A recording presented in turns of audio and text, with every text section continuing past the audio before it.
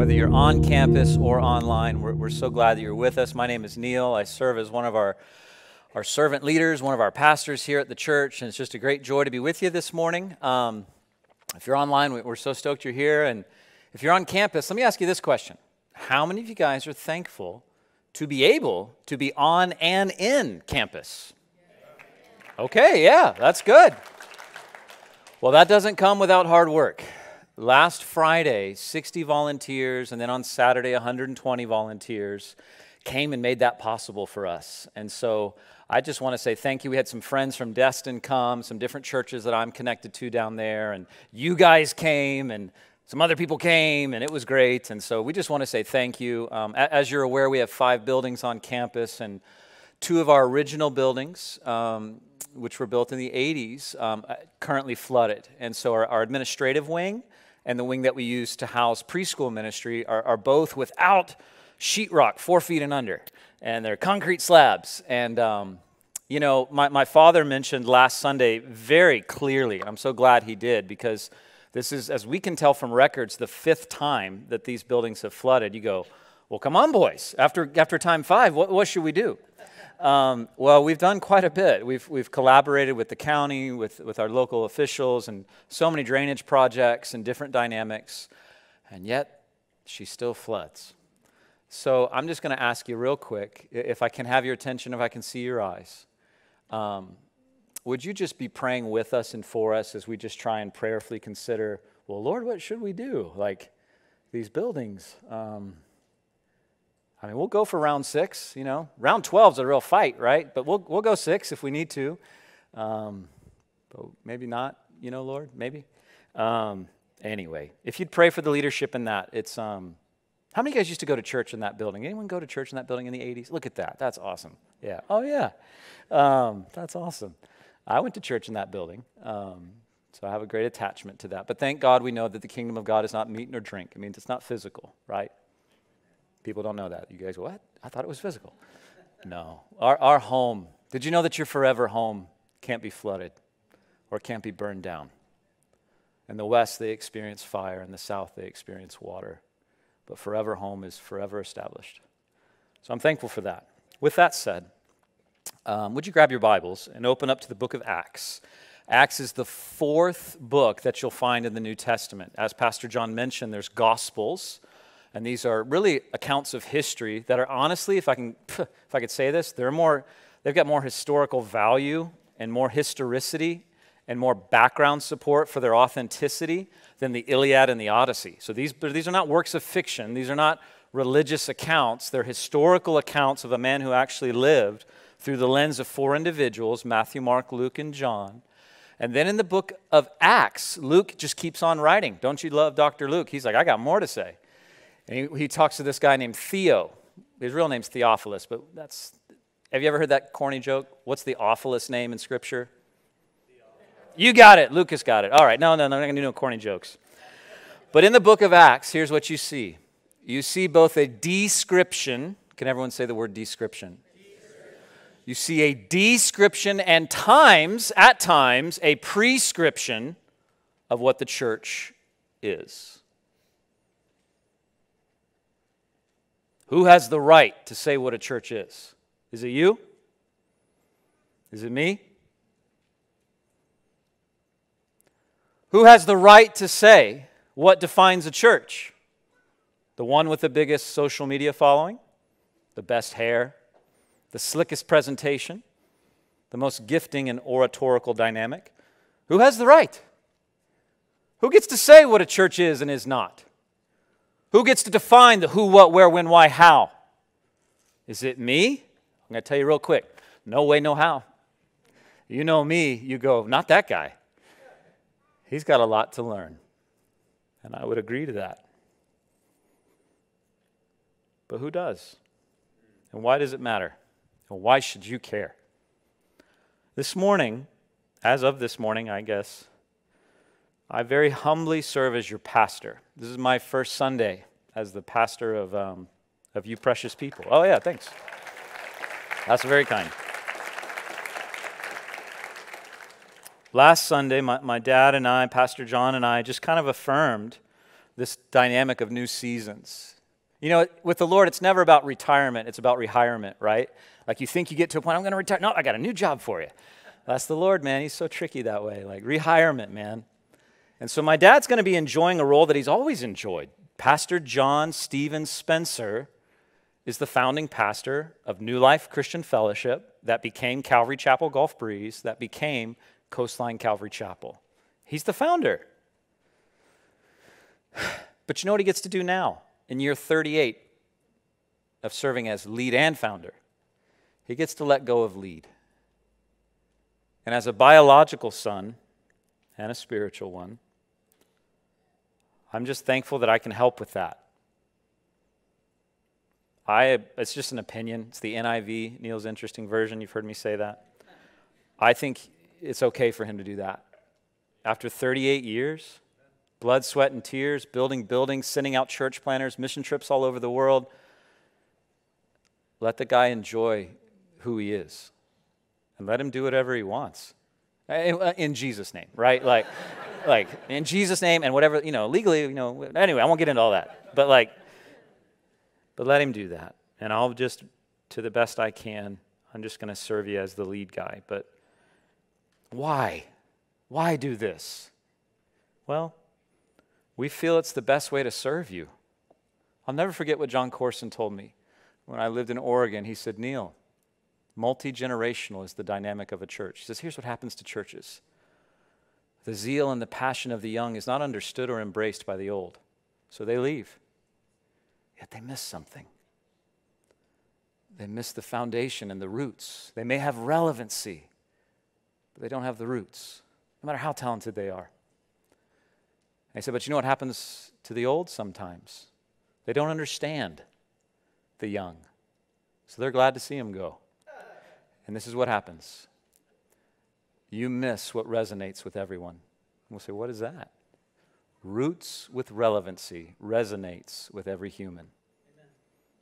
That's, did you know that you, you're part of an ancient religion, if I can use that word? It's really an ancient relationship. But our roots go deep as believers. This wasn't thought up yesterday. Who gets to decide what a church is? The one who paid the price for it. The cost was deep. I'll tell you, man, I got pockets, and they, they got a, a, a wrapper of a mint in them. But the pockets of Jesus, the price for you was pure, spotless, unblemished blood. Stand among you if you have that. No one stands. I don't care who you are. I don't care what your socioeconomic platform is, what your PhD is in. You know enough, a little bit about a certain specific thing. Doesn't make you the doctor of the world because you hold a doctorate. I have a friend in uh, the West Coast, and his, his PhD is in childhood development, but he specialized in how to pick up and drop off children at a daycare. And that was his PhD. And I think that's helpful. Because, man, have you ever tried to drop off a child at daycare? Like, we need some doctor to tell us what to do with that. My buddy Lars, that's him. That's him. I love Lars. We were roommates for a season. But only Jesus gets to decide what a church is. But we believe, as founding and lead pastor, that we can serve you, Jesus' church, towards this end. This end right here. Hopefully, the sc- screen will work. It's going to transition. One, two, three. Oh, no, come back. Come back. We've got to talk about it. This is what I believe. Now, listen, let me have your attention. I know we're sharing a little bit jovially, but listen. What I'm going to do this morning, very simply, you see this paper in front of you. I'll explain it in just a second. You see this 1041. This is war. What is this? This has taken me 19 years to be able to say these 17 words. I think it's 17. I'm not that smart. Once you read it, come tell me later. But the NIV, this is what a church is, man. A church is a community. There's a lot of communities out there. You ever heard of the LSU community? Like some people do it, man. It's all about that ecclesia that's called out, that loves that school and loves that. Is it a tiger? Is that what LSU is? A tiger. They love to see him take the skin of a pig and run it up and down grass, and they're like, yes, we're going to paint our bodies for that. We're the ecclesia of the LSU. Okay, you can do that if you want. The church is just a community, man. But what are they a community about? They're a community about new life in Jesus. That's what brings them together. They're a community that, that lives new life in Jesus. Well, where do they live it? In the world in which they live. Wherever they live, as a stay at home mom, as a rocket scientist, as a, whoever you are. You live that way, man. But you're also a community that loves God. You're also a community that connects together intentionally. And you're also a community that lives on mission in your world. And this morning, I just want to give like 10,000 feet, 30,000 feet of what this is. And then over the next four Sundays, my father and I are just going to rotate. Pastor John will go first. He'll talk about what it means to be a community living new life in Jesus in our world. Can I be honest with you? I know a lot of guys, I know a lot of pastors, I know a lot of friends. I don't know anyone better to share that message. That's a guy whose nickname was Street Fighter, who came from a broken home and experienced new life in Jesus. And in some ways, some ways, some ways, why you're sitting here today. I think he's got something to say. The week following, I'll do the best I can to back clean up after that because he'll do, he'll do really well. Like a community loving God. I want to explain that. Today, you're not going to get that. Today, you're getting 30,000 feet. The week following, Pastor John will talk about what does it mean to be a community that, that, that, that, that connects. And then lastly, I'll talk about what does it mean to be a community that lives on mission. And then we're going to get into the books of 2nd and 3rd John. You know what? That's ambitious. Before the year is up, I'm going to teach you two books of the Bible. Did the other pastor ever do that? Like in a month? No, I'm just teasing. Like, I'm just teasing. It's just a joke. No, they're like very small. They're like, and we're going to share. We're going to do it together. But we're going to get into Second John and Third John, Lord willing. And then Don McClure is going to come and open up our, our Christmas season for us. Pastor Don and Jean McClure, who started the Bible colleges back in the 70s. They're going to be here, Lord willing. We don't know what tomorrow holds, but we plan on them being here the first week in December. And Jean will be doing our women's tea, and Don will be teaching on a Sunday. That'll be great, man. Those guys are so cool. Anyway, this morning, 1041, this is war. Sounds a little weird, huh? A little intense. Well, there's 10 values, four missional mandates, and one singular vision. 10, 4, 1. Have you ever played the card game, This is War? You take your cards and you have to show someone your cards. You know that? Well, that's what I want to do this morning. Yeah, there's a war going on, and we'll talk about that later. But what I want to do this morning is just show you my cards. Say, what do you mean? You know what I've seen as a pastor's kid and as a pastor? Pastors get asked a lot of questions. A lot of questions. And the who, what, where, when, why, how is a lot of where it comes from. And the is, is not paradigm is usually the second. There's usually just two paradigms of questions who, what, where, when, why, how, when and is is not. So I thought, well, maybe as we get started, let's just take this on the head. Like, let's just go ahead and say, here's the who, what, where, when, why, how, and is is not. And then let me unpack it for you for four weeks after. It's just a simple message, a simple thought on the values, the mission, and the vision. And please, let me have your attention. Let me see your eyes. This is just us, man. I'm not saying this for every church that's ever gathered. I mean, this is Coastline Calvary Chapel. This is, these are our vision. This is our mission. This is our values. But I'm pretty sure it's the same thing that this thing says. I don't want to disrespect that. This is the same thing that this thing says. It just comes from this. This is what it's like in the South, man. This is what it's like on the South Coast at Coastline Calvary Chapel. So today, here's what I'd like to do I'd like to give you this little sermon sheet as a way to kind of write down these 10, 4, and 1. And here's the deal if you're 21 and under, which is a lot of you guys right over here, if you're 21 and under, yeah, you're waving, you're 21 and under. If you fill this out and write a meaningful response at the end where it says next step, not like I'm going to throw it away, not that. If you write it, Pastor Todd and Pastor Daniel have a voucher for a free drink of your choice, all non alcoholic, because you're under 21. And we don't serve that over there anyway. But like a free drink of your choice right over there at the coffee house. Do you get that, guys? Like if you're under 21, if you take this, if you fill it out, and if you do it and you show Pastor Todd and Daniel, you get a free drink from the coffee house. Now, if you're 22 and older, you should have a job by now, man. You can buy your own drink. I don't got to buy you a drink. Like, You do. You should still do it, but I'm not buying you a drink. Like, um, we'll we'll do it for the kids, but not you. Um, and so, today it's our heart to unpack and begin. Father, I just pray very simply as I try to do my best to, to not draw the attention to anyone other than you and just try to explain your scriptures and even trying to show a little bit how my story relates with that. Please help me to serve your people well. Please help me not to get distracted. Please help me not to make mistakes. Please just help me. And I just pray that in Jesus' name. Amen. Just want to do two things with you this morning. I just want to share a little bit of my story. Say, we did that last Sunday. There's layers, man. Remember Shrek, onions? Like, I want to share the story of Coastline. And it, it does have a lot to do with me because I'm here, and so are you. In 2001, I moved to Southern California. I think it may have been the first time I ever even visited there. I don't really remember. My parents gave us a lot of opportunities to travel as children. And so I don't know that I'd ever been to California before then. I don't, how, had we been to California? Maybe, yeah, they don't know either. So we don't know. Um, but in 2001, I moved to the Inland Empire. What is that? Sounds terrible. Well, there's no water. It's Temecula in Murrieta. I moved there. Why? To go to Bible college because at 19 I thought I had already failed. I thought I'd already blown it. I thought I was, I was pursuing corporate law. I was engaged to be married to a high school girlfriend. And that didn't work out. And I was like, man, I don't know what to do.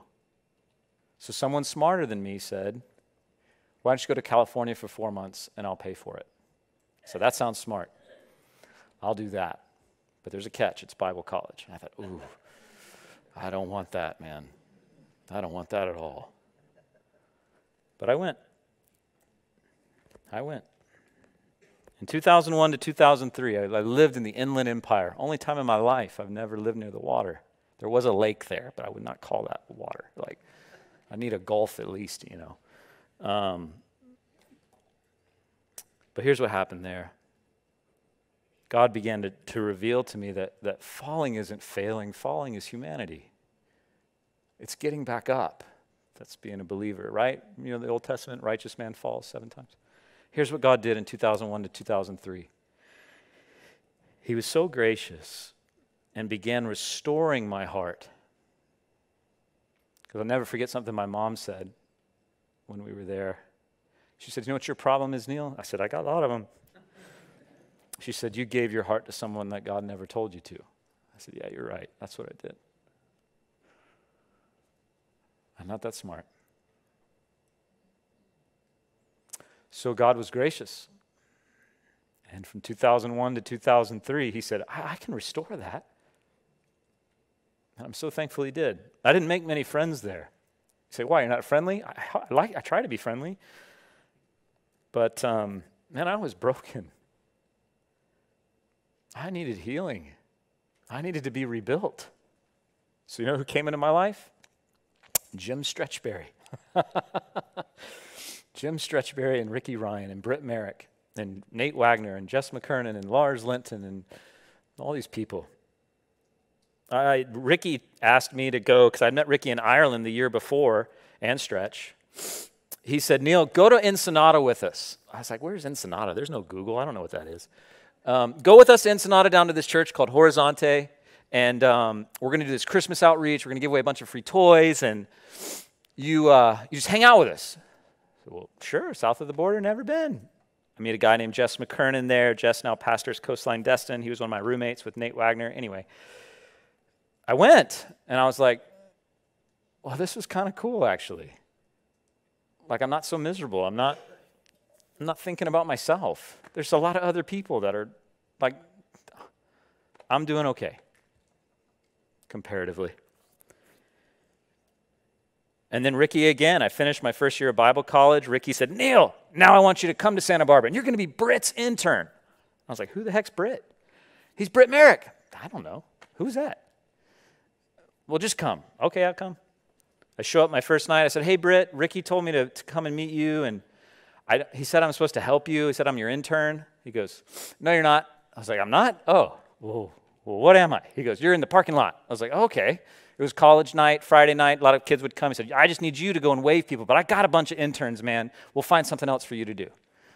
I was like, Okay. Well, I'll, I'll wave at people as they come in the parking lot. I can do that. And then I was like, I probably should do more here than wave in the parking lot once a week on Friday night. Like, and Joe Stretchberry, and you don't, if you don't know Stretch, that's okay. But he says, he said, hey, baby, you're going to be with the kids ministry. You're like, hey, baby. Like this, if you know Jim Stretchberry, that's just his MO. He's like this really sweet Jewish guy and just, just a go-getter. He said, You're going to work with Nate Wagner. It's like, Oh, I know Nate, and I know Jess. He's like, You're going to work with those boys. I'll work with them. I like them. But you're doing kids' ministry. I said, Well, I don't know how to do that. I've never done that. And they said, You'll figure it out. I was like, Okay. So I get there, and that first summer, man, one of the best summers of my life. I worked 80, 90, 100 hours a week. I know that sounds hyperbolic, but I promise you it wasn't. Summer camps and totally awesome Tuesdays and um, all these different things at Leadbetter and um, Zodos, Zolos, bowling, something like that, um, in Goleta, And we just did all these kids' events. And I was just helping. Like, oh, this is great. I get to not think about myself for once. And I got paid $500 a month. And I loved it. I would rather have $500 a month doing that for the rest of my life than any sort of corporate law gig I would have pursued at St. Pete. Anyway, I went back to Bible college, graduated, and then Ricky said, Come back again. We want to hire you. You're going to be our fifth and sixth grade pastor, JJH. It's like, oh, okay. I met a couple people there named um, Linda Thomas and Michael Furukawa and his wife, and they were part of a skateboard company there called Powell. And I taught fifth and sixth grade with them. And I'll never forget one guy named Andy. When I showed up, I was like, man, I don't know what to do. I've never done this. Can, can you help me? No. I was like, what? Did I offend you? I'm sorry. What happened? Like, I just need help. He goes, because he was the guy doing it. And he said, You've got the degree. You know what to do. I said, They taught me Ecclesiastes. I didn't know about 11 year olds. Like, what do I do here? like, you'll figure it out. It's like, oh man. By God's grace, over time, and a lot of falling down.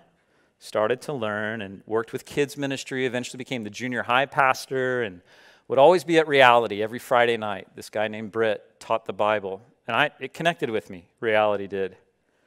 Um, there's something about it. I felt like it was the grandchild of Calvary Chapel. It's kind of the way I've always looked at reality. And um, Britt was teaching on Friday nights, and I was the junior high pastor. This other guy named Gerald um, he was the high school pastor for a minute, and then this guy named Nate was. And anyway, it was just a good season. And, um, but you know what? I'm not, I'm, not, I'm not from the West Coast, I'm from the South Coast. I didn't have any roots there, and I couldn't. 500 a month only goes so far. Like, I was like, I can't afford to live here. I got to go back home.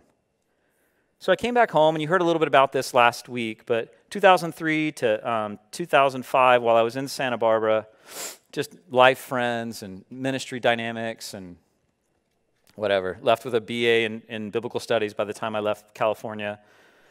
Moved to Florida. Was it 06 that I moved to Florida, CC? Yeah, 06. Um, and I came back here. I had been gone since like 2000, 2006. It was right after Ivan. Does anyone remember Ivan? Oh, yeah, a lot of like, ooh. Do you know Ivan's birthday?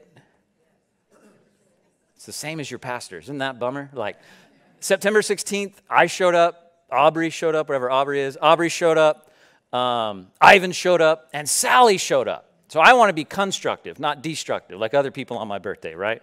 Anyway, if you don't know what Ivan and Sally are, ask somebody. They do.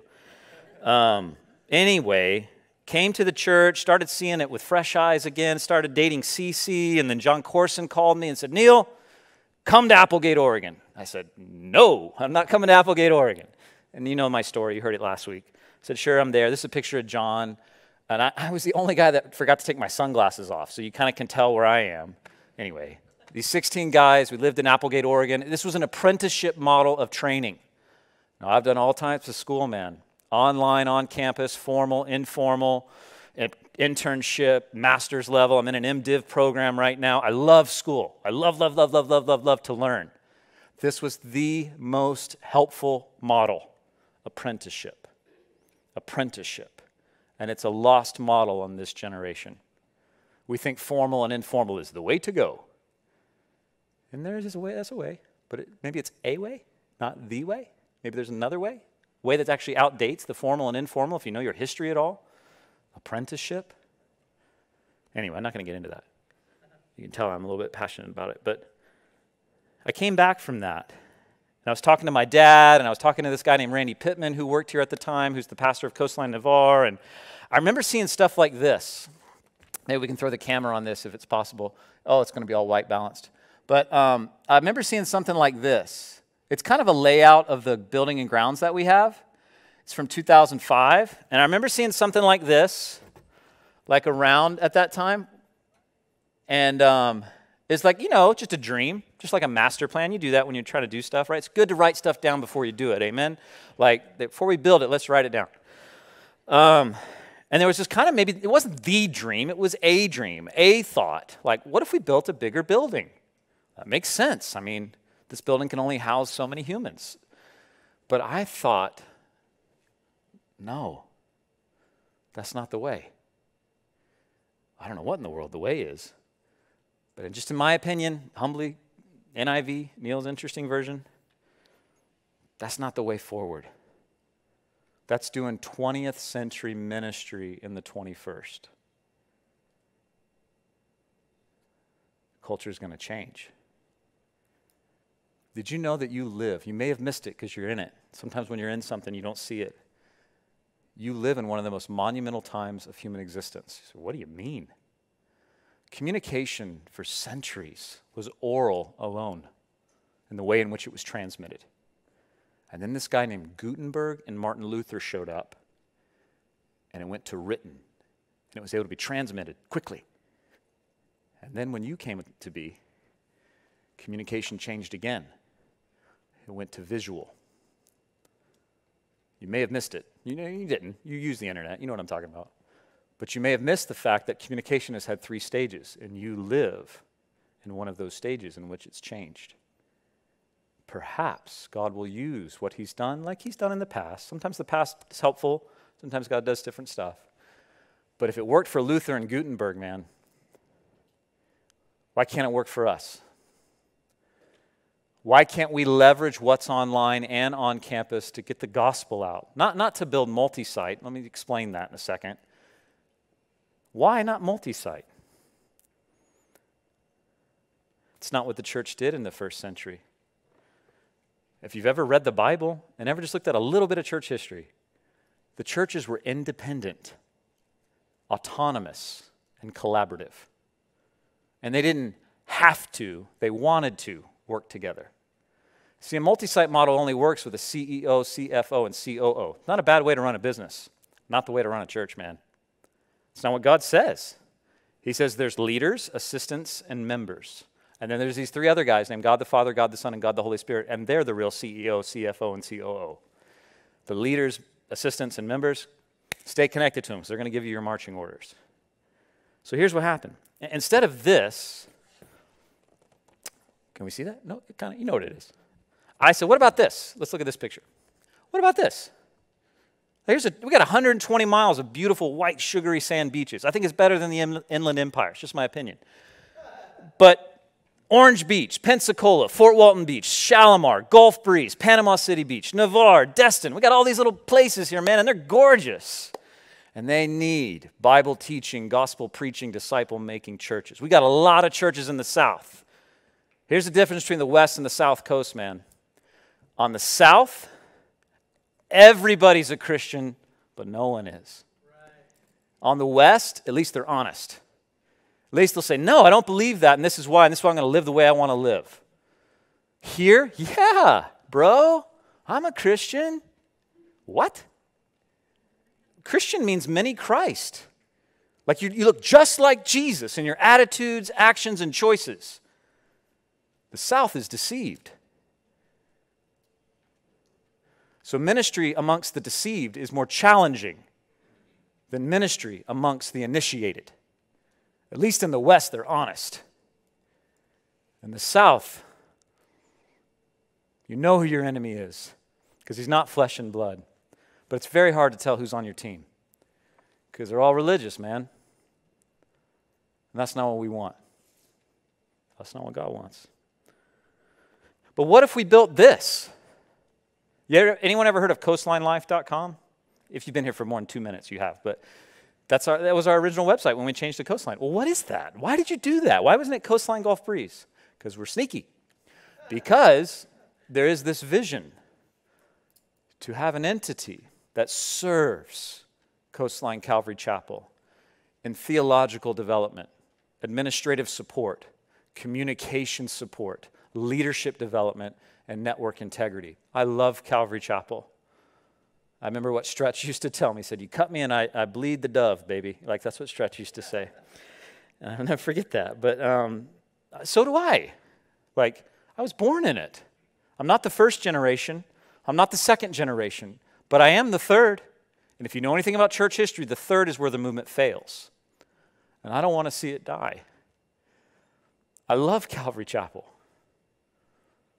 I love going down to Merritt Island and hearing Malcolm Wild and Alwyn like play like leatherback Bible or leatherback book.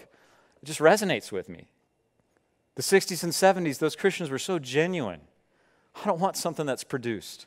I don't want something that's franchised. I don't want something that's slick.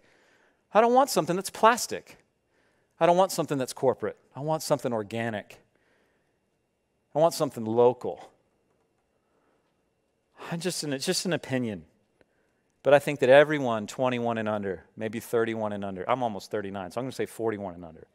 I'm that weird generation that like didn't make the cut. I was I graduated in the year 2000 and I'm not a millennial and I'm not a Gen Xer. I'm the lost generation. Like I don't know where I am because I'm kind of digital, but not really. I don't know how to use Snapchat. But I, and I'm not like I don't I don't remember eight tracks. So I'm like, where am I? I don't ever know. I'm right in the middle. But um, but to serve collaboratively. Now let's get to the scriptures here in just a moment. So what did I do? 2006, 2020, and let's get into the word so you can see this. I rode. You rode? Rode, R O E, rode. I read, I observed, and I watched. I just kept rowing, just kept rowing, just kept rowing. Read, observe, watch. Read, observe, watch. Read, observe, watch. Row, row, row, row your little boat. And I'll never forget my youth pastor, Mike Doyle, saying, Neil, you ever read this book?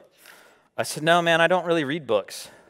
But you do, so you just tell me what the book's about. No. He said, You read the book for yourself. I said, Okay. So I read this book, and listen to what this author said. He said this A few billion people worship Jesus Christ as God every week and do so in the church as the church. Yet, if you walk into various churches and ask people who compromise that church what the word church means, the odds are you'll get either a blank stare or a series of conflicting definitions. He says this, and he says this genuinely.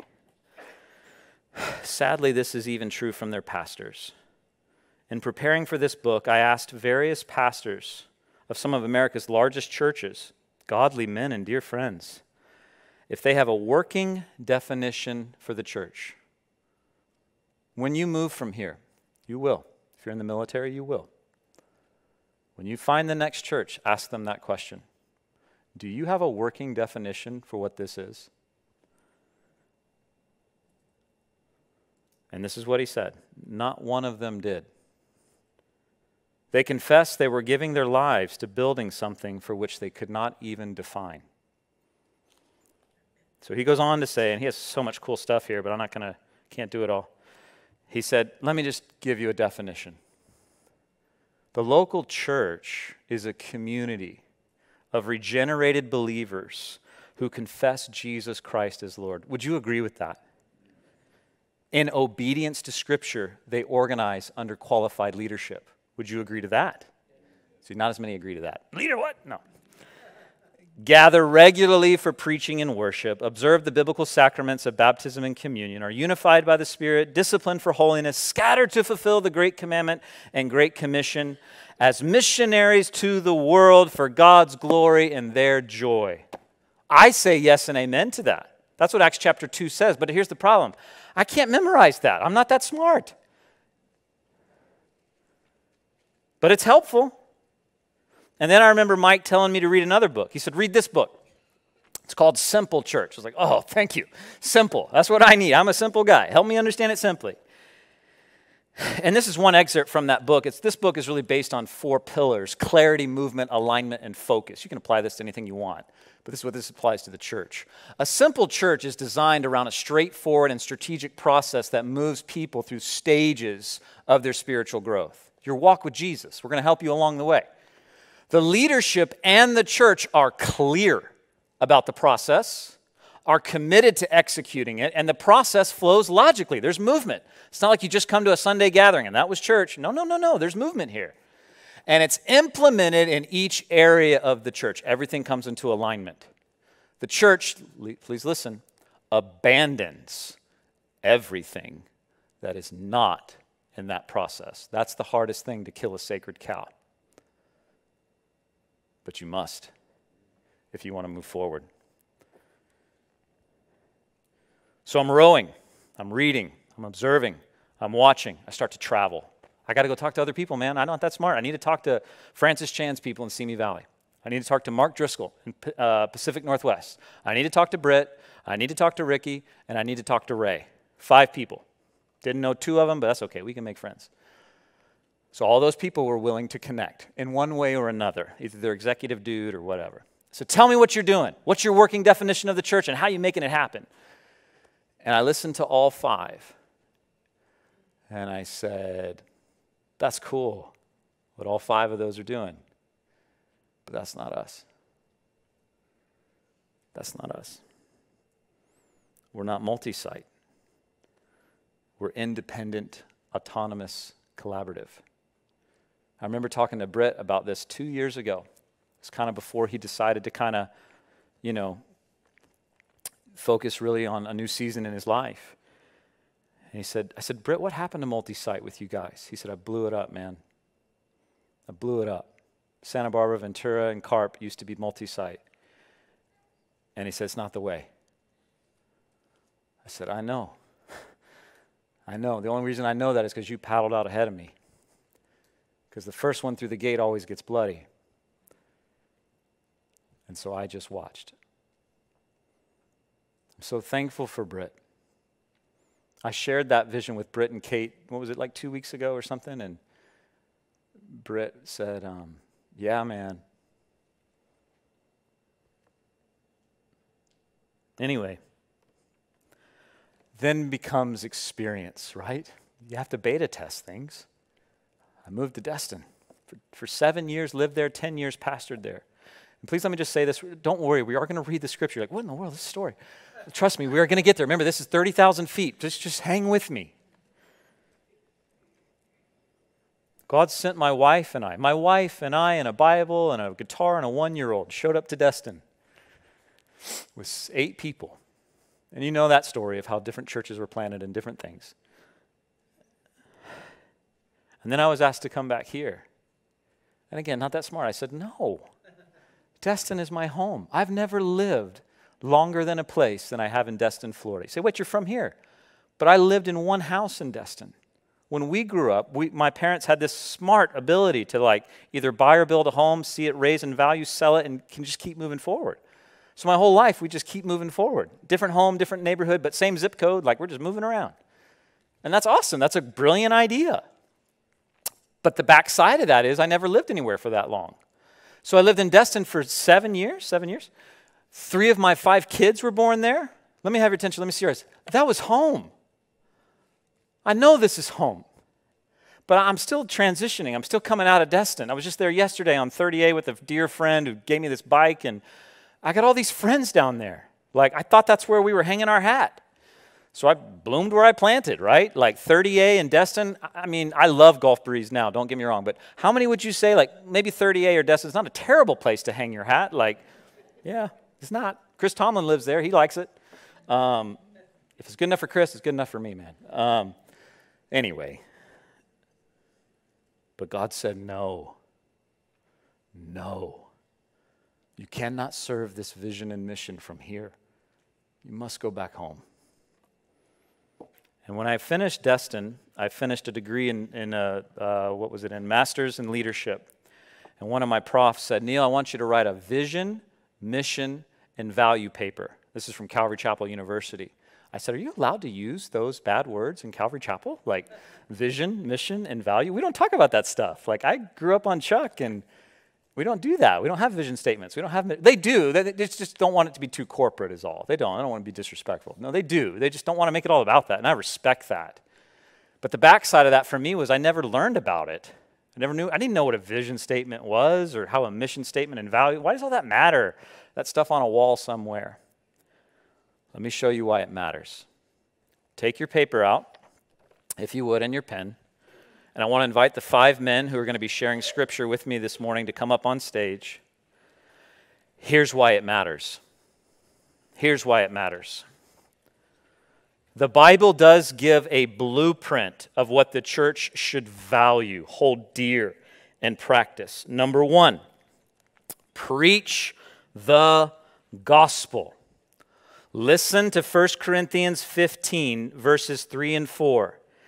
I passed on to you what was most important and what had been also passed on to me. Christ died for our sins, just as the scripture said. He was buried, and he raised from the dead on the third day, just as the scripture said. You know what's so cool about that verse, 1 Corinthians 15, 3 and 4? If you don't know how to share the gospel, open up your Bible, read that to somebody, and say, May the Spirit of God bless you. Because that's the gospel. And we are going to unpack these values. Don't worry. You're Like, that's all you're going to say about preaching the gospel? I got so much more to say. Can't wait to say it. But I need four weeks. Got to give me four weeks. Preach the gospel. The second is be baptized. Acts chapter 2, verse 38. Rob is going to read that about baptism. Peter replied, Each of you must repent of your sins and turn to God, and be baptized in the name of Jesus Christ for the forgiveness of your sins then you will receive the gift of the Holy Spirit. Now, do you have to be baptized to be saved? No. Do you have to have a wedding ceremony to get married? No. But if you don't, grooms, you're dumb. No, I'm just kidding. Like, you may not be stoked later. Like, you might want to celebrate that thing. That's a momentous deal. Baptism is the public display of what's happening inwardly. It doesn't save you, but it sure does publicly declare, just like a wedding ceremony. Thirdly, worship in song and in life. Psalm 95 says, let us sing to the Lord. Let us shout joyfully to the rock of our salvation. Romans chapter 12 says, Brothers and sisters, give your bodies to God. Let them be a living and holy sacrifice. That's the kind he will accept. This is the true way to worship him. Billy Graham once said the greatest sin in America is listening to a sermon because listening to a sermon is not living the Bible. Yeah, you need to hear the sermon so you know what to live, but living it is where it comes alive. Number four, pray in the Spirit. Balin is going to read James chapter 5, verse 16. Confess your sins to each other and pray for each other so that you may be healed. The earnest prayer of a righteous person has great power and produces wonderful results. Prayer is powerful. Over the next four weeks, we will unpack that. Number five, learn and live the Bible. 2 Timothy 3 says, All scripture, how much is all, church? Good job. Is inspired by God and it's useful to teach us what's true and make us realize what's wrong. It corrects us when we're wrong and teaches us to do what's right. I'm so thankful for the Bible. So thankful. James 1 says this that if you look carefully into the law, the perfect law, the Bible, that sets you free, and you do what it says and you don't forget what you heard, God's going to bless. Obedience brings blessing. So let's, as a church, value learning and living the Bible. Number six, receive communion. Now, Buddha.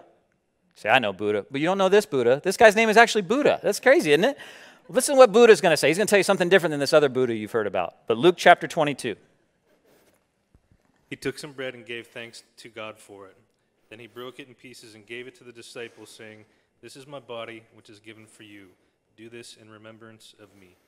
Valuing the body and blood of Jesus is something that we should value. Number seven, live in community. Acts chapter 2, verse 42 says the believers devoted themselves to the apostles' teaching and fellowship, sharing of meals, including the Lord's Supper, and to prayer. Number eight, learn. Oh, yeah, you should learn this, but also live to give. Now, this is going to be our youngest reader this morning. So I think it's the maybe one of the shorter verses, but make sure you give Lucas some love after he reads this. It's not that it's hard to do this. So 2 Corinthians chapter 9, live to give. You must each decide in your heart how much to give, and don't give reluctantly or in response to pressure, for God loves a person who gives cheerfully. Good job, Luca.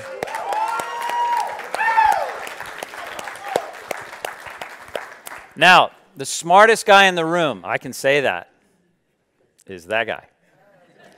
This guy's smart, man. Rocket scientist stuff, like, uh, I almost said verse 9. Number 9, live to serve. The reason I say this, this is a long verse, so we're going to give it to Ken. Ken's going to read 1 Peter chapter 4, verses 10 through 11.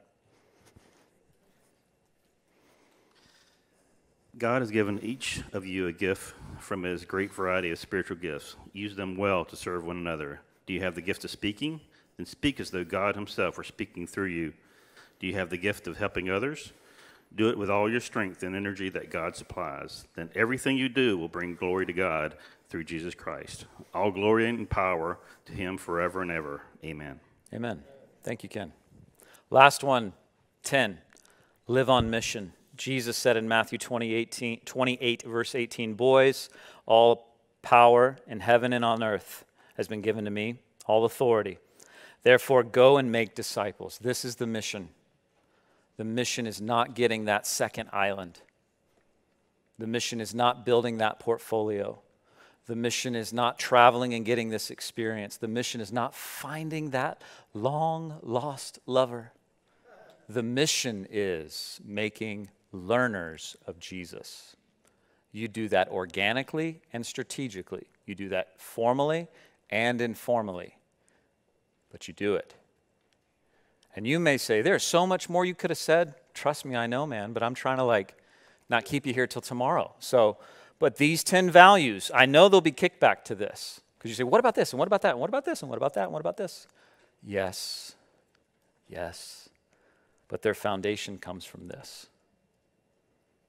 This is their values. Four missional mandates that then we do because of these values. That's what mission is. What should we be doing? First one, we should be living life to the fullest. Who doesn't want to do that? Who doesn't want to get all out of life, all that's good? John 10:10 10, 10, Jesus said, "I have come to give you life and to give you life abundantly." It's the enemy, sin, deception, lies that come to steal, kill and destroy. You know what sin is? It's that sugar-coated poison apple. Say, what do you mean by that? You take a bite of that sugar, and who doesn't like sugar? There are some people that don't. I've met them, I met one one time. But most of us, when we taste sugar, we're like, oh my goodness. Until you detox from sugar. I did that on Tuesday. Man, that's a bummer day. Don't do, well, just don't touch sugar. It, okay. But like sugar coated poison apple, you taste it and you just keep biting because you keep loving that sugar coated poison apple. And eventually the poison starts to come over time. And this is what happens. This is what young people don't have time and experience yet to see. They're just tasting the sugar, man. They haven't been eating on it long enough to know, uh oh, there's poison underneath this sugar. It's not your fault. You're not dumb, teenagers. You're, you're, you're just teenagers. You haven't had time yet. There's no substitute for time. T- show me the substitute for time. Okay, you can't. So just, just don't keep eating the sugar because underneath the sugar is poison. And that poison will steal, kill, and destroy your life. I got friends to show you if you don't agree with me. But you should live life to the fullest. Outside the box, but inside the book.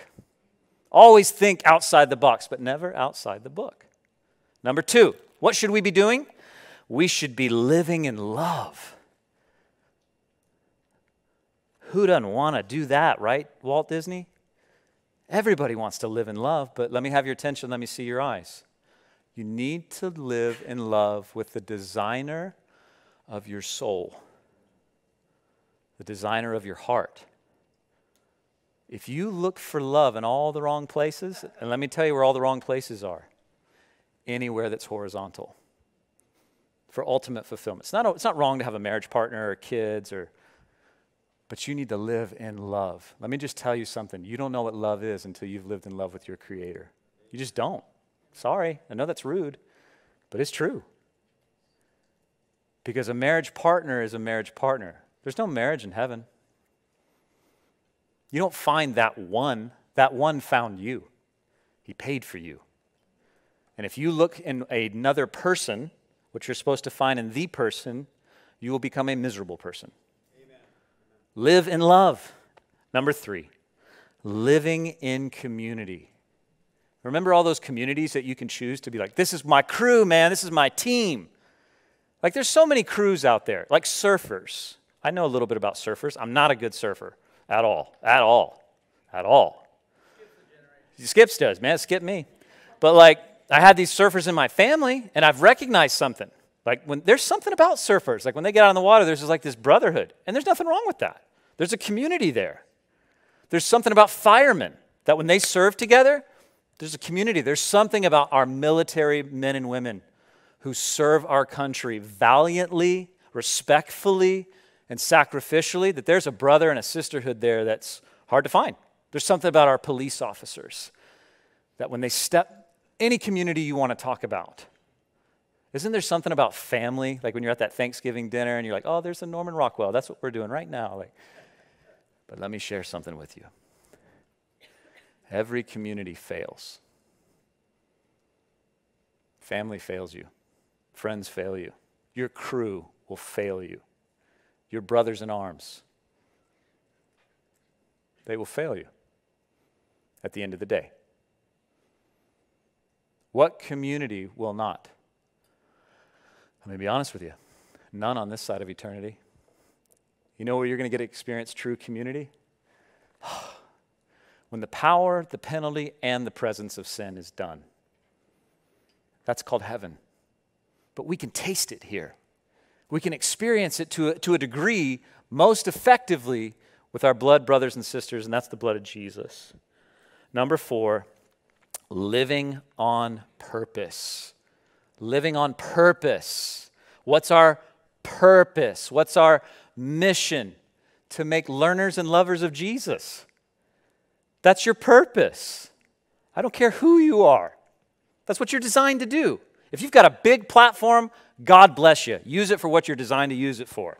You got a small platform, God bless you. Use it for what you're designed for. Remember Brother Lawrence. Who's Brother Lawrence? That monk hundreds of years ago that, write that, that wrote that book, Practicing the Presence of God. That monk's whose his platform was the dishwasher of his order, and a revival broke out because of how Brother Lawrence washed the pots. Don't you dare devalue another human because you think their platform is smaller than you.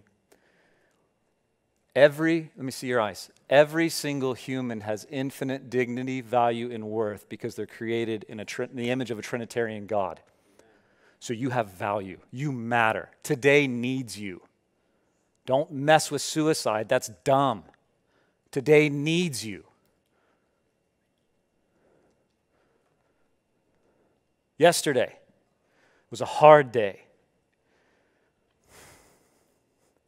Yesterday was the day I'll never forget paddleboarding in Navarre Beach and being called by this mom and saying, Neil, there's 50 kids that need to talk to you. I don't even know 50 kids. I only have four at that time. Like, well, who are they? Well, there's this group of, group of five. They call themselves the Destin Mafia. And they don't mean that in a bad way. They just meant it as a crew. Oh, we're the Mafia. We like to wear gold watches. They weren't bad kids. But there's this rumor of a suicide pack. We don't know if it's true, but two of them are dead. Please get here. I said, What? You want, what, what, what can I do? I know what I can do. I can call my dad. dad, what do we do? This is what's happening. There are a bunch of surfer kids. That I think they want to talk to me because I'm, I'm a pastor and I know Yancey. Like, I think that's why they're calling me. But what do we do? He said, We go down there. So we went down there. And yesterday was three years removed from the day that Connor died. So I talked to a lot of those boys yesterday. Because death's a funny thing.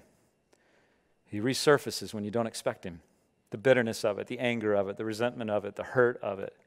You don't just get an 18 month manual and deal with death, you process it. But you're designed for a purpose. Let me just say this so I can wrap this up. Everybody lives, but very few people live on purpose. Everybody ends up somewhere in life. but very few people end up somewhere on purpose. You can. There's a way. I'm not the only guy, but I can help, I can help show you the way if you'll listen. Lastly, is vision. What is vision? I know this is crazy, but you know what vision is? It's a seeing word. Dun, dun, dun, dun, that crazy? It's a seeing word. It incites stoke of what could and should be in the future. This guy, I was made to read this book by my CCU prof, Malphurs. He says this A clear and exciting picture of the future. That's what vision is. Such as a church that God uses to motivate that ministry to accomplish its mission. That's cool. I like that. Another pastor said this Compelling vision provides passion, motivation, direction, and purpose. Vision makes the mundane matter, provides reason to live, and the reality that you matter to the success of the vision. What's the vision? The vision is new life in Jesus in our world. That's the vision. In our world. Right, moms that got little toddlers? You want to see new life in those little babies. Right, business owners? You want to see that not just used to make a buck, but used to really help people. We want to see this happen on our coastline. First and foremost, home. Let's help the coastline. Let's help the Gulf Coast. 12 locations, independent, autonomous, collaborative, 120 mile stretch. Let's go get it. And then to the ends of the earth. See, this is the heartbeat of who we are in Destin, Navarre, and Gulf Breeze. We are a community. Love LSU, but that's not what we're about. We're about Jesus a community that's living new life in Jesus, a community that's loving God, a community that's connecting together, and a community that's living on mission in our world. You say, how do these values, this mission, this vision, how do they play into that? Please come for the next four Sundays and we'll tell you. Or watch us online. I can't tell it all to you right now. You're, the mind can only endure what, what, the, what the seat can, right? Like,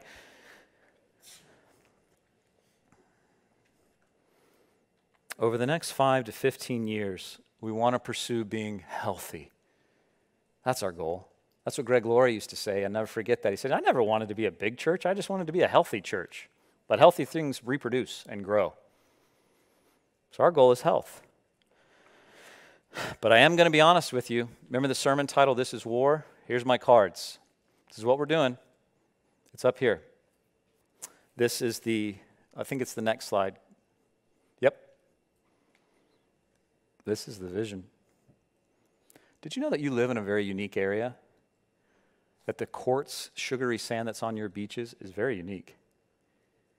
That Pensacola hosts the first religious service in America at the cross. I was there this morning on my bike. Did you know that you live in a politically conservative area? Did you know that you live in an area that right now you can gather in buildings? You know that. You're there. Did you know that you live in a unique area that most of the world doesn't know about? In my opinion, the South Coast.